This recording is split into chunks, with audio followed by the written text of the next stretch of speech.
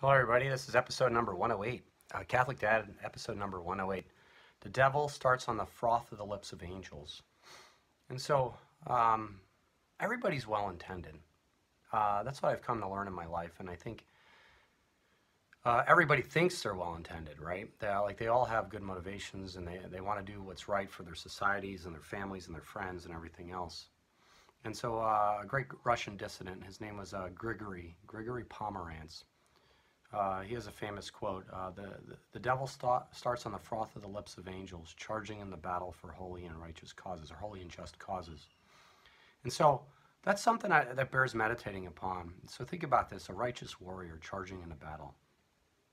And he's, um, he's going to charge and he's going to do what's right. And it doesn't have to be like a true battle. It could be a spiritual battle. It could be, um, uh, it could be a po uh, politicians uh, trying to get a legislative um, uh, get uh, some kind of special legislative bill through, um, or you know, try to make a certain law.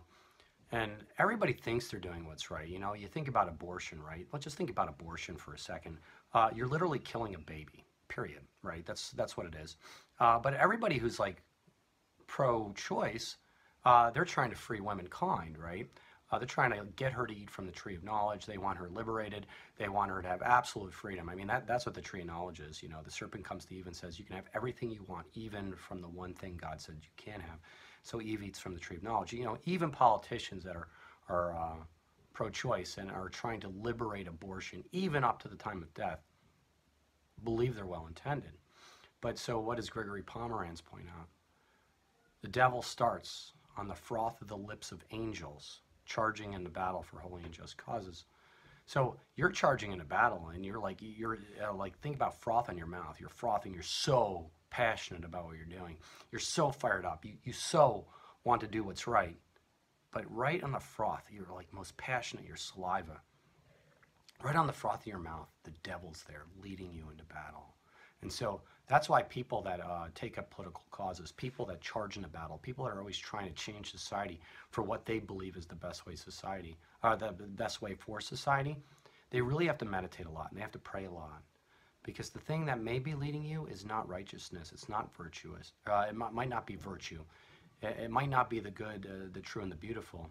It might actually be the devil. And so all politicians out there, all people that have an axe to grind for something, all people that are trying to do what they believe is right, has to really think about what the fruits of what they want are. You know, the communists out there, um, all they had to do was meditate and look at what they were doing. I mean, they were slaughtering people by the millions uh, because they were trying to achieve what was right. I said in the last video that um, uh, Fidel Castro, uh, you know, he, he, had the communist revolution. You know, he was thinking, oh, I want to help the poor, the downtrodden, the dispossessed.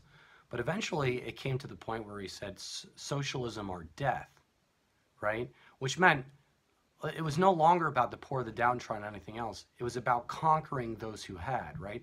About rising up and destroying uh, the order of society and taking it down and handing it down to the dispossessed, handing it down uh, to the poor and the needy. And um, socialism or death, meaning he was willing to fight to the death to get what he wanted. And so at that point in time, if he was if he was uh, a prayerful man, if he was somebody who looked into his own soul quite frequently, which we all should do, he should have said, "Whoa, maybe I've gone a little too far. Like maybe death is maybe there are other options other than killing people. Maybe there's other options other than these uh, death camps. Maybe there's other options." But no, I mean, he, he persisted his entire life and he thought he was doing what was right. Um, so the devil does start on the froth of the lips of angels, charging in the battle for holy and just causes. And if you're one of those angels, pray a lot, pray a lot, and don't be so convicted of what you think is right uh, in terms of law and so on and so forth, or what you're trying to battle for. Um, try to uh, like become like the emperor's new clothes. Try to empty yourself of your preconvictions and just be naked. And um, uh, naked of any kind of preconceived notion and listen to all sides. And uh, try to meditate about it and try to figure it out try to you know data mine. And i'm just saying be reasonable. That's all i'm saying. But just remember you could be doing the devil's work if you fight too hard about a position if you dig your heels in too hard. And um, there are people like um, you know catholic women priests are um, or uh, there are like schismatic branches. You know, you think about SSPX and uh, Lefebvre and so on and so forth. These people were so trying to preserve traditionalism within the Catholic Church that what they did was they schismed out, which, yeah, woe to those people. Like you think you're better than the than the hierarchy, um, like you're no better than a Protestant, really. If you think I'm going to go form my own church and I like I'm doing battle because I'm so righteous and so right. Well, it could be your passions are driven by the devil and pride. It might not because that your passions are driven by righteousness and virtue. So there you go. This is Catholic Dad making you think about it. The, uh, Grigory Pomerantz was the guy's name. G-R-I-G-O-R-Y. That's Russian. Pomerantz. Uh, the devil starts on the froth lips, lips of angels, um, charging the battle for holy and just causes. So uh, God bless you. Get the Mass. Uh, please like or subscribe and pray the Daily Rosary. God bless you.